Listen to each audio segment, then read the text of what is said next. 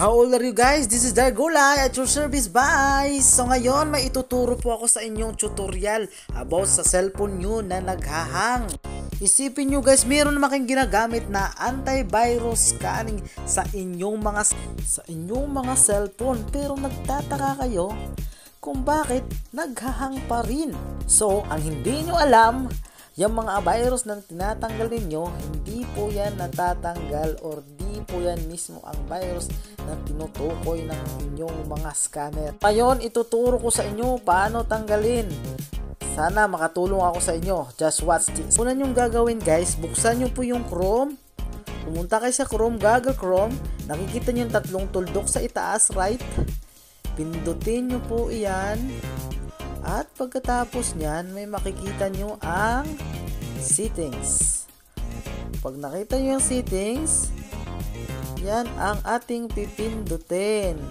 Pagkatapos nating pindutin yan, meron pong lalabas dyan. Lalabas po yung, hanapin nyo po yung site settings sa bandang baba or sa taas. Yan, nakikita nyo yung site settings.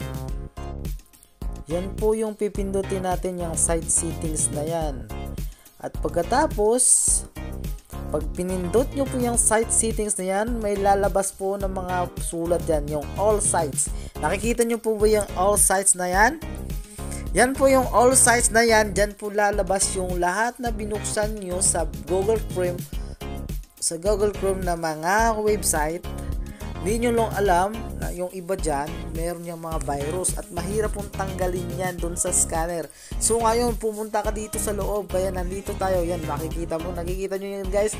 Nung pinundot ko yung all sites, lumalabas lahat ng website na merong mga virus guys. Yan po ang dahilan kung bakit nagbabagal ang inyong mga cellphone. So ngayon, ang gagawin natin, tanggalin po natin lahat yan isa't isa pipindutin mo lang po yan lahat ng website na nakikita nyo.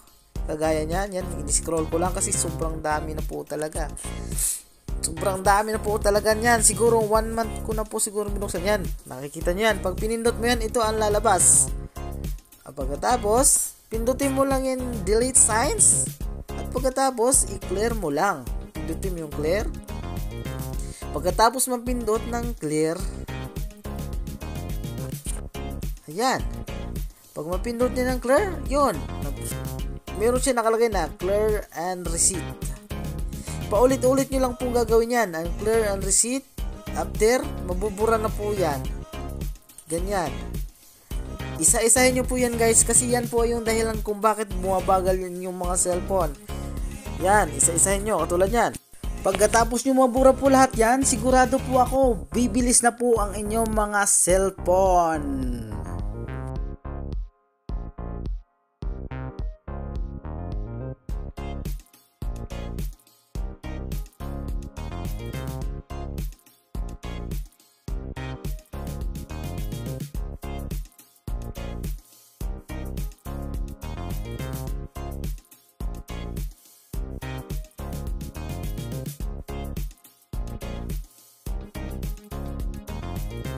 So ngayon guys, tapos na natin burahin lahat. Nakikita nyo ba yan? Oh, tapos na siya, wala na siya. So ngayon, bumalik na po kayo doon sa inyong desktop.